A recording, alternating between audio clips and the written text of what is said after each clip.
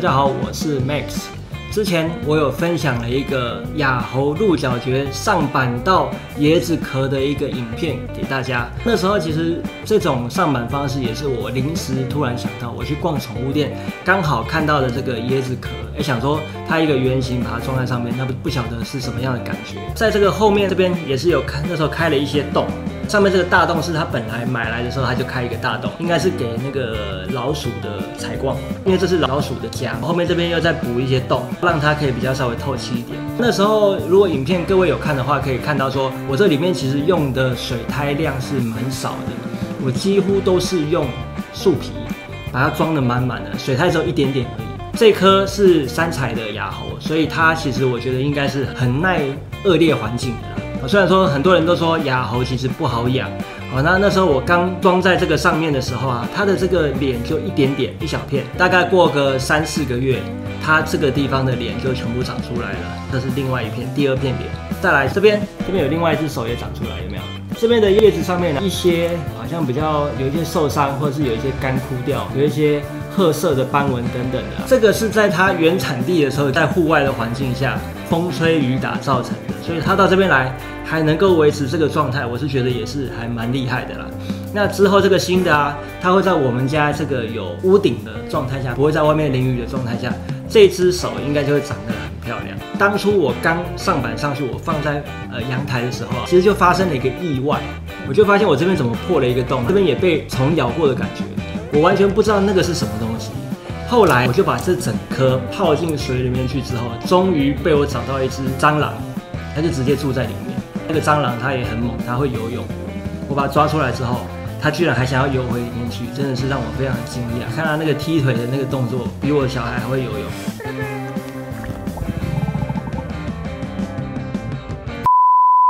有人可能会觉得说，我的后面看起来就像是一个包覆在那边，它不透气，不透气的一个状态下，这颗有可能会养的不好。那事实上，我在三四月到现在七月，它的状态是越来越好。那我觉得用这个椰子壳的方法应该是可行的，有几个重点，我觉得是这样的。我的里面用的东西是大量的树皮，而不是水苔，因为其实在鹿角蕨的原生环境中，也不会有太多，我手好酸啊。也不会有太多的水苔这类的介质可以用，那它一定就是在一个有点湿润的那种树表面上面而已，就用那一点点的介质去抓附在树干上，所以我相信水苔的数量是不需要很多。那再来就说里面是大量的树皮，那个树皮又不是一整块而是好几块在一起的，所以它中间的缝隙是很大，可想而知缝隙很大，中间的空气就很多，所以说里面的这个环境下它就是属于一个潮湿。但是又不会积水的状态，我是觉得还蛮理想的。然后再来就是底下这个地方，我是用水苔去把它给包着。那它等于说这边如果有一些水汽的蒸散上去，然后在这个地方，如果说我把这个整颗泡在水里面要晾干的时候啊，就这样挂着。这个地方也是我下面一直可以把水给沥掉的一个地方，在这里，它不会把水积在里面，不会有这个问题。这就是我目前为止这颗雅猴鹿角蕨的一个状况。感觉是还不错，雅猴也没有说那么的娇贵难养。那我觉得可能也是因为这颗雅猴它是山采的，山上长大的孩子，所以可能也不会那么娇贵啦。那只要注意到不要让它直射太阳，它是很疏松透气的这个状态，不要积水。其实这个雅猴还算是蛮好养的，它的状态是这个样子，跟大家分享一下。那还有一个最重要的就是说，小心有蟑螂，它真的会被蟑螂吃。我原本以为这只是一个传说，就没想到居然是真的，蟑螂真的会吃它，而且我还是